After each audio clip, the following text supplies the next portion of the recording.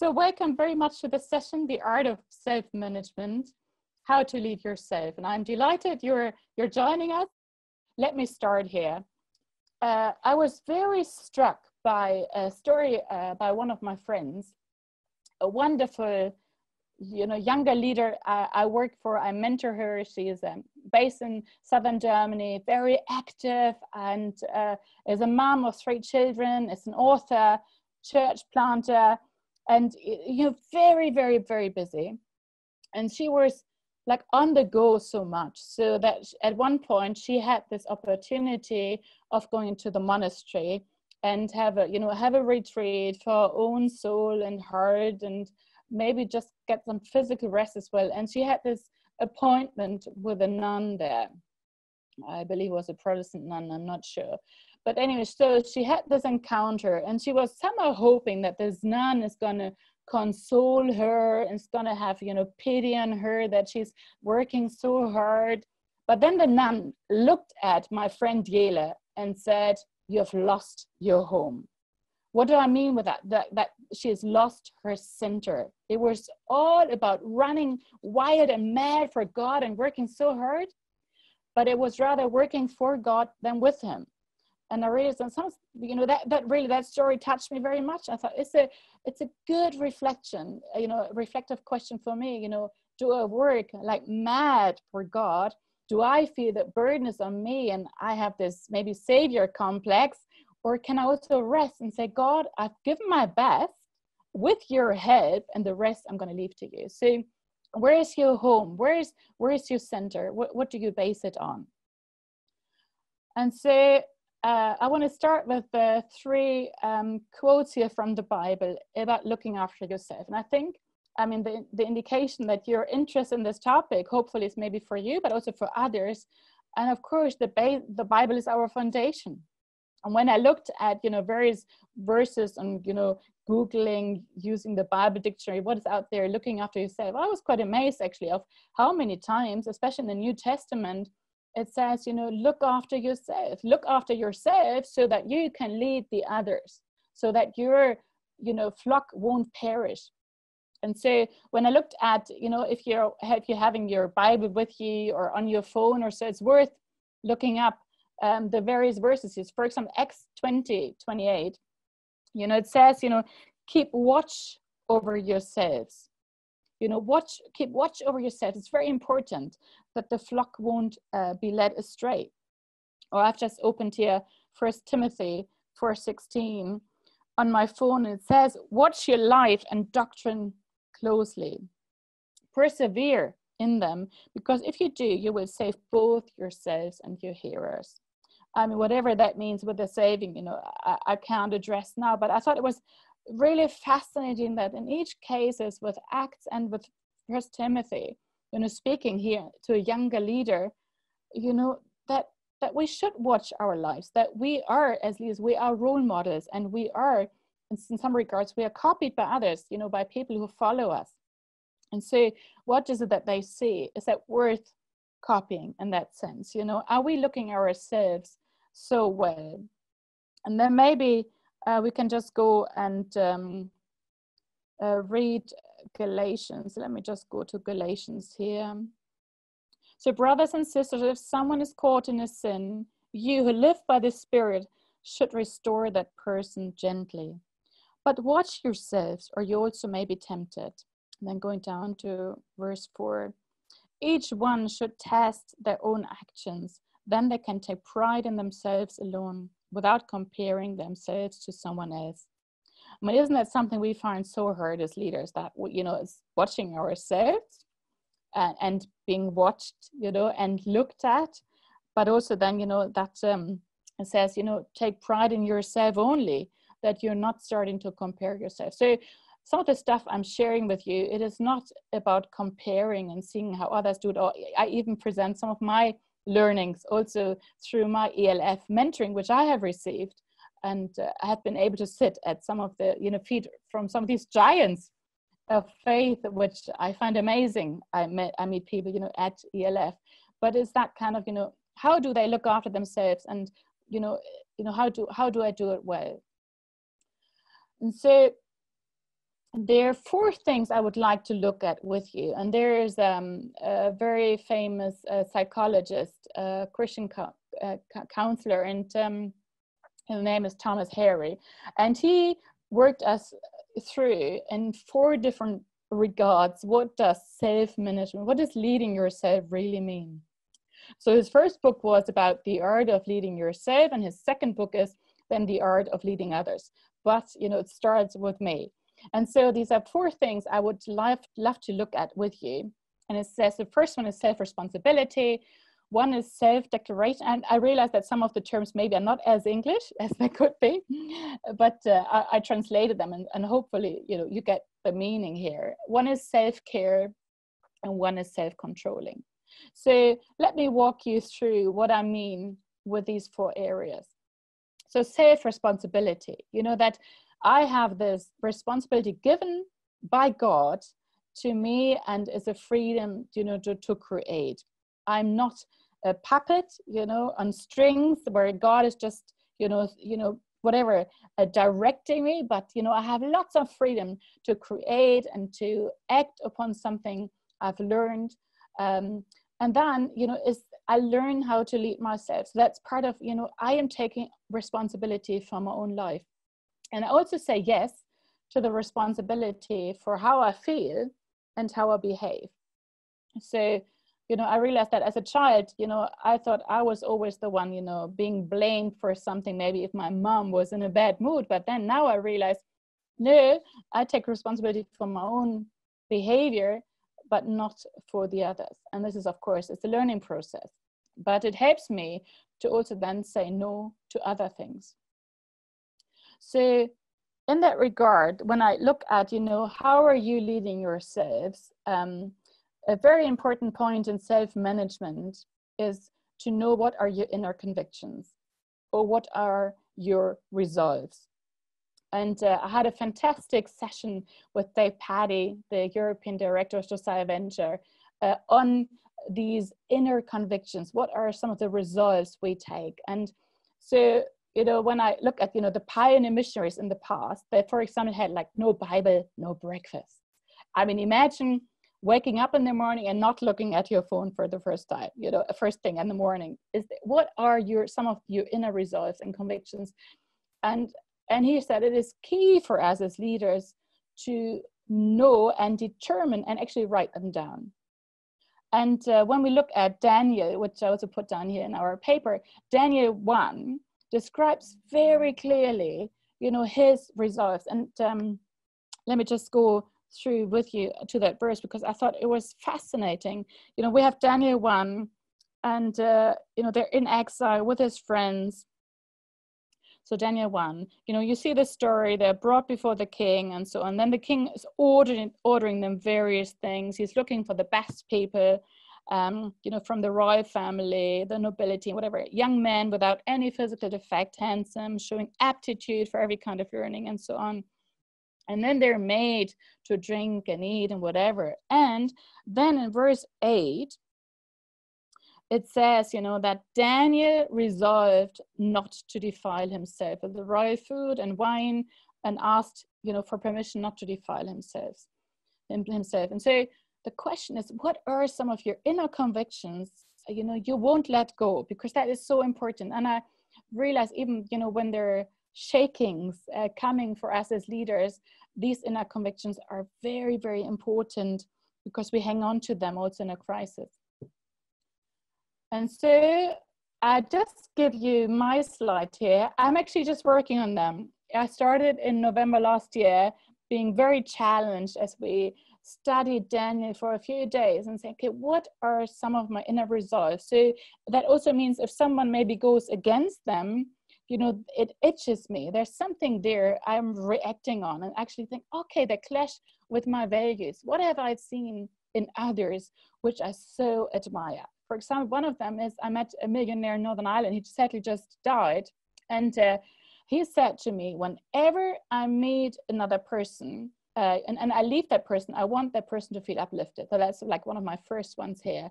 I thought like, wow, every time you speak with someone, no matter if you disagree with them on any topic or not, you know, I have a resolve that I want them to leave uplifted. I don't want them to be put down by my action, by my wording, or whatsoever.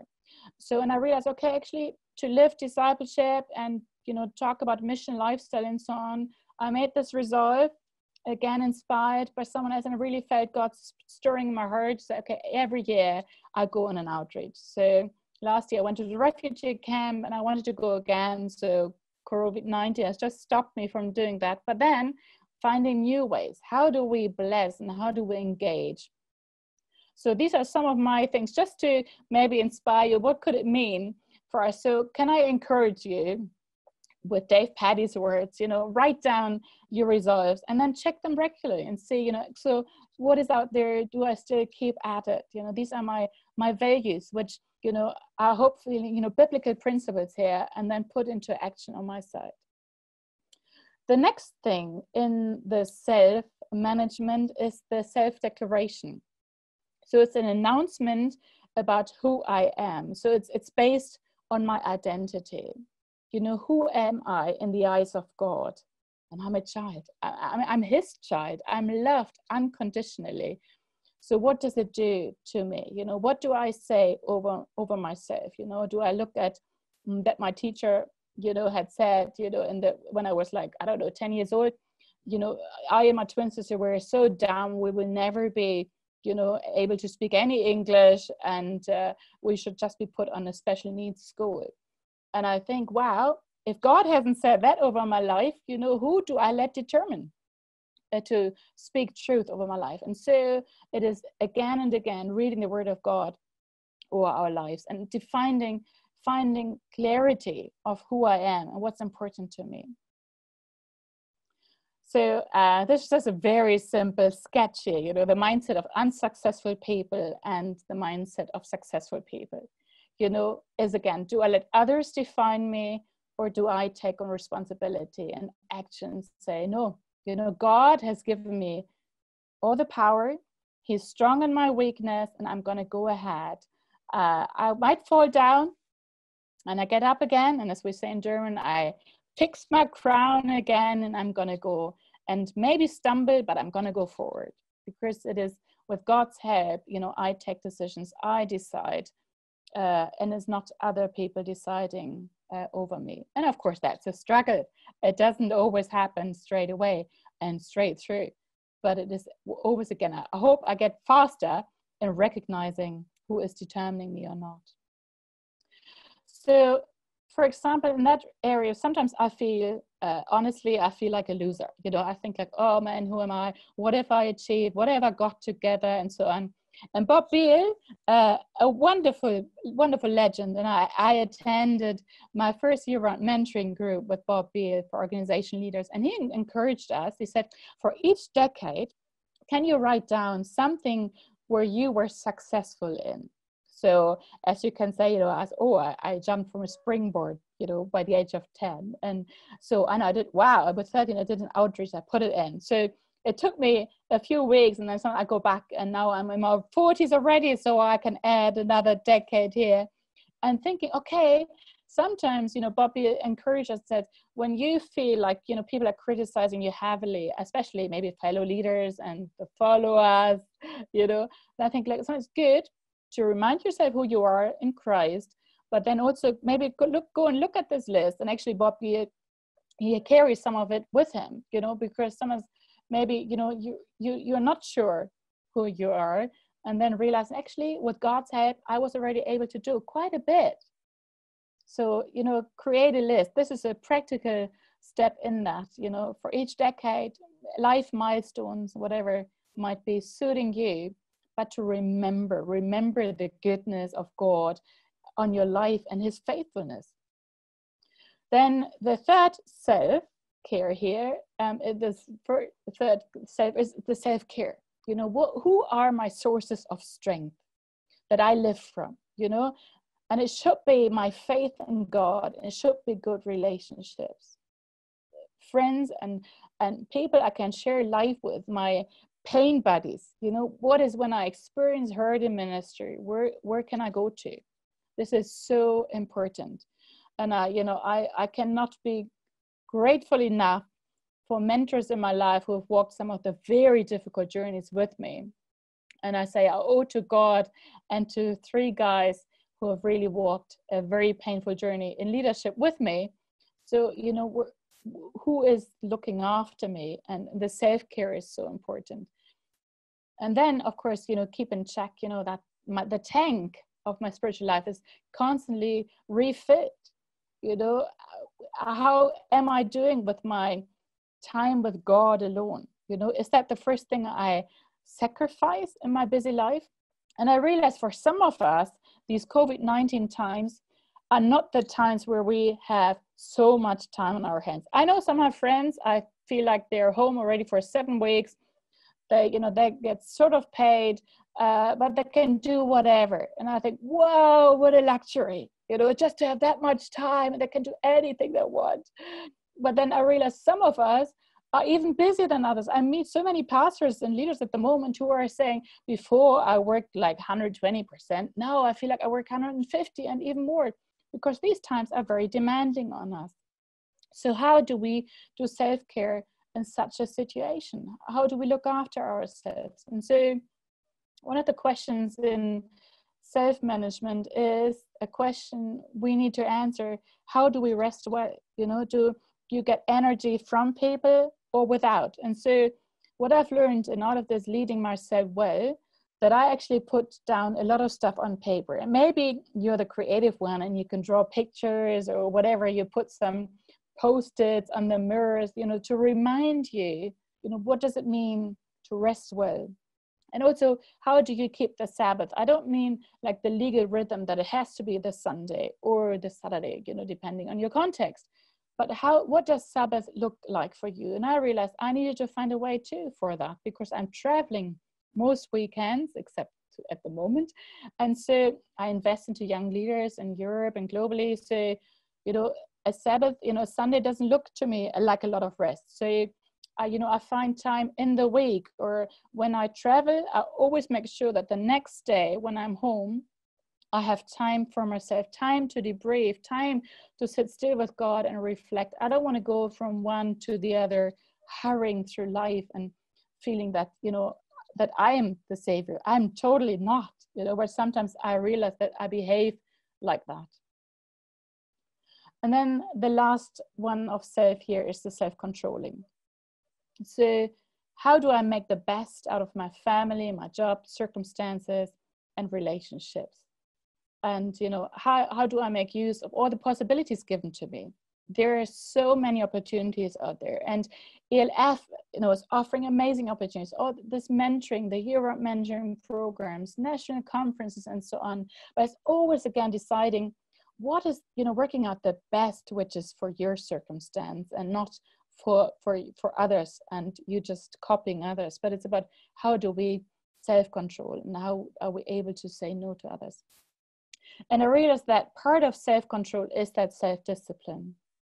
And uh, as I started running about two years ago, I really was struggling. I mean, I'm not a sportive person, but I, I was reading Second Timothy, wondering what does it mean to run well through life, and that was just coming out of a personal leadership crisis. I thought, what does it mean, you know, to to run the race until the end? I want to die and still love God. I want to die and still love ministry but so many actually do not make it. And so self discipline is very, very important. And the hard thing is that the reward is only seen afterwards. You know, it is like it's so much easier to open a package of crisps and eat it in front of the television, and that gives you this instant good feeling.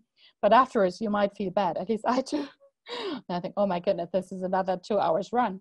Or, you know, do I start running and then I build up my muscles and then the reward only comes afterwards. And only after a few weeks maybe i think oh wow i can actually do 10 ks now. Wow and i never thought i would.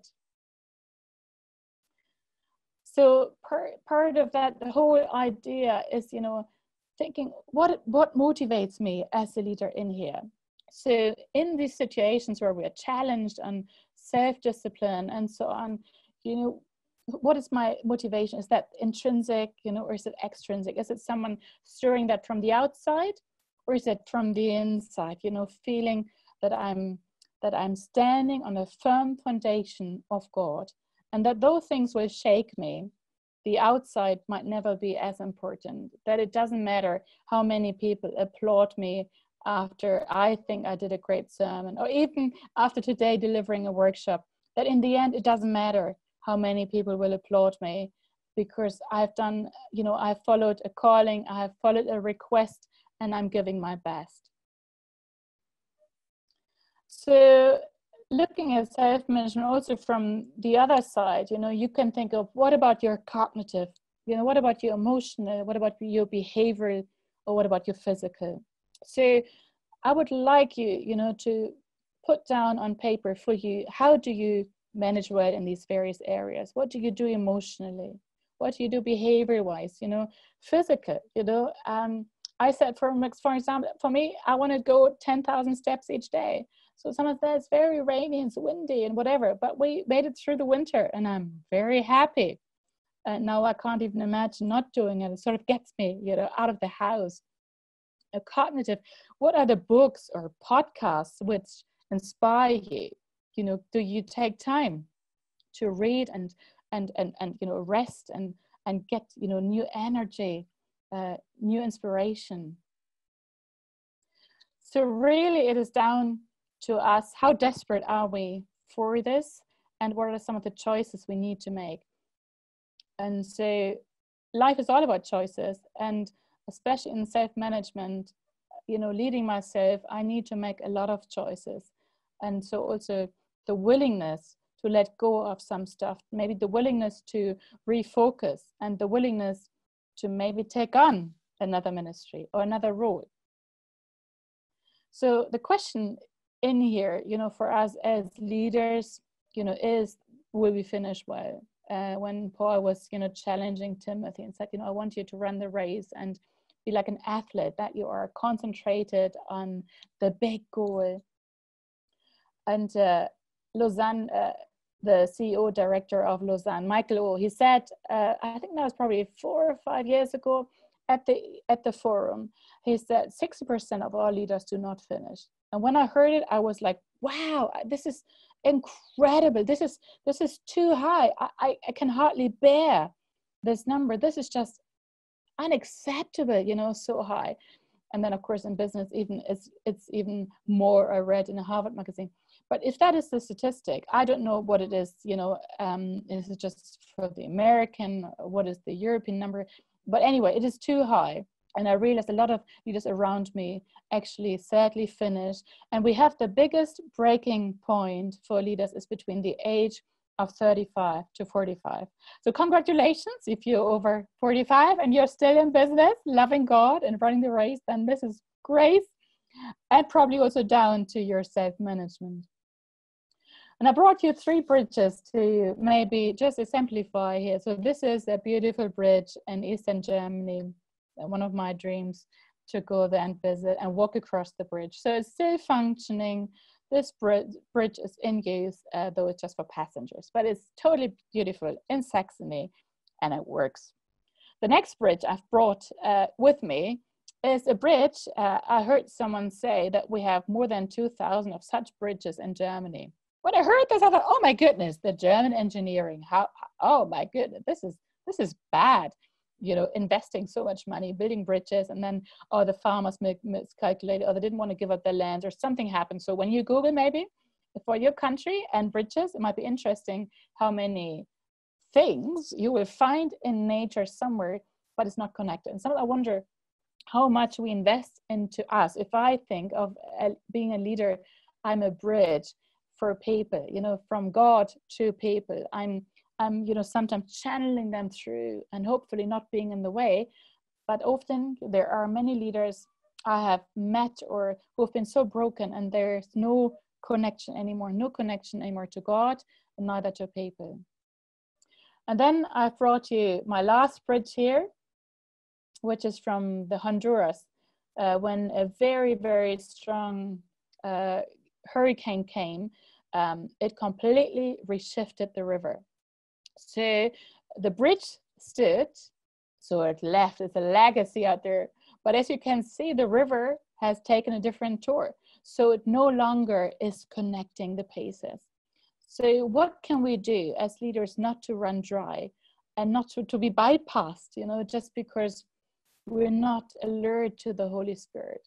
So can I encourage you to be more like that Eastern German bridge and Saxony and saying whatever it takes, you know, walking with God, leading myself. I want to be that bridge which is still in function until I die. And it's so important um, that we that our identity is defining our position. It is not, you know, what I do. It's not my business card. It is not how important people think I am or not but it is identity uh, based upon God and what He thinks of me. And then, secondly, is the calling. And uh, Greg Pritchard walked me through that. You know, he's the director of ELF, and that was for me that was so key of understanding that it's not my position which tells me who I am, but it is my identity. And the identity is not man made, it is God made. And so looking at this, you know, is the question of my competence and my character. You know, when I have very strong skills, but my I don't work on my character, I can become very, uh, very, very arrogant. Or if my character is in good shape, but I don't do anything on developing my skills, I might have the tendency to rather be very exhausted and even be leading a burnout. So how do we look after these two things, you know, competence and character? Both of these are like muscles we need to constantly stretch and work on. There are motivations for us as leaders. And, um, you know, you see some of the stuff here, responsibility, the work itself can be so motivating, the advancement or maybe promotions. And then we have the motivational killers. And it is so always again important when we realize things are not going good why are they not going good? Is it because i'm out of touch you know with god? Am i out of touch with people? What kind of bridge am i? And so what i would love to encourage you and if you haven't done it yet i would love to encourage you to have a mission and st- mission statement for your life. In self management when you when you search on that topic it is like like one of the number one keys of leading yourself well is knowing where you're heading and so it is discerning how do you encounter the needs. You know, uh, Aristotle, he said, where the needs of the world and your talents cross, there lies your vocation. So what is your vocation? What is it that God uniquely implanted on you to make a change somewhere? What is it that? And can you write it down? Can you name it? Can you name your main giftings? And so it's saying, you know, a mission statement should contain you know some should you know it should be de- you know defining who you are as a person. It should mention your purpose. And then also um, you know how you pursue that purpose why it matters so much to you. So i mean i would love to get you know hands up here and saying every one of you has got it you know that would be amazing. Uh, because that actually um, as i read again on preparing the session we say it is the number one thing because it helps you to also say no to many other things.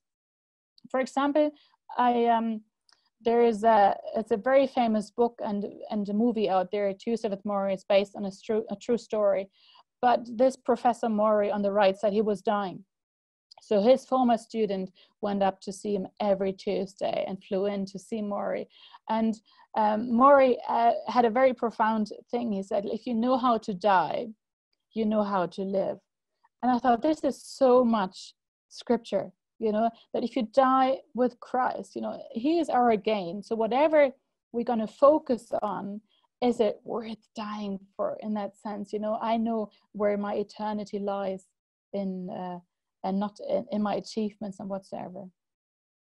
So, for example, I brought you my statement. When I was 21, I wrote my statement, so you can calculate how old I am now. But, and it is not you know, perfect. It doesn't have to be. It took me a few weeks to work on this. I was like looking at my main giftings, like recruiting and training and equipping, especially young people. I want them to love God until the end and to worship Him. So then I sent it to my mentors and I said, you know, does that sort of reflect me, who I am? And this has helped me heaps over the last, I don't know, four years or so, um, since I left the ministry and went to serve with the Lausanne movement, others, you know, I have, I've had, I mean, amazingly, I don't know why, but I had so many offers and requests. And could you maybe become a mission director? And, you know, could you join this board and that board and so on? And I realized actually this mission statement has really saved me from a from burnout, but also from doing maybe the wrong stuff you know, which I'm not really gifted in. I thought my passion is for young leaders. So I don't want to serve in an old people's home, whatever. It is not my cup of tea, what I'm called to. So, in finishing off, just um, a few things. Um, uh, I was encouraged through ELF and which I met through some of my mentors. It is, you know, looking back on your 65th birthday, maybe, hopefully uh, you're not that old now. Um, and when you look back and you hopefully have a very fulfilled life, hopefully, because the statistics say that 60% of leader as leaders and people in general are not happy with their lives.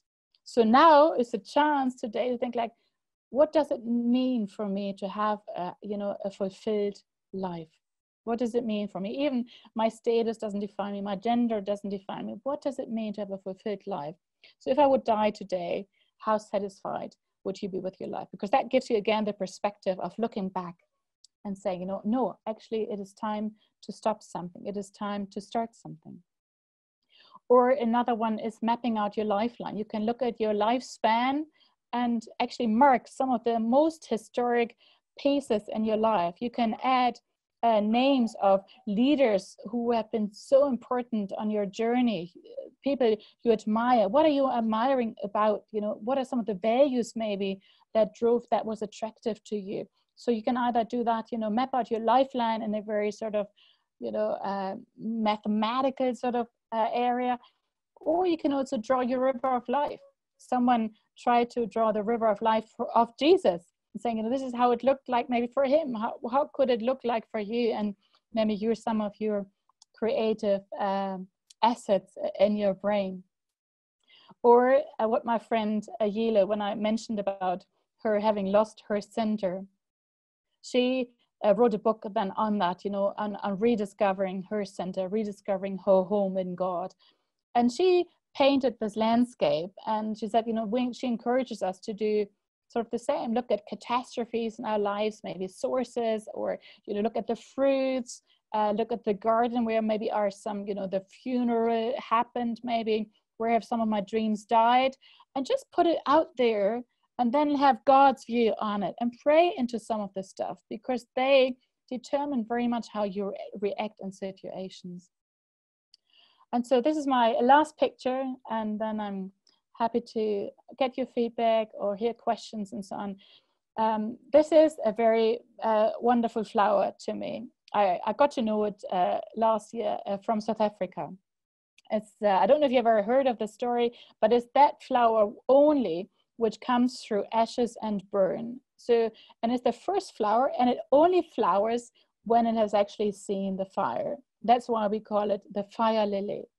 So some of the fruit can only come out of the burn and out of the ashes. So what is some of the fruit you can gain also through stop, stopping some stuff, through starting some stuff, which couldn't happen if you wouldn't have the courage to let go and let God do the rest here.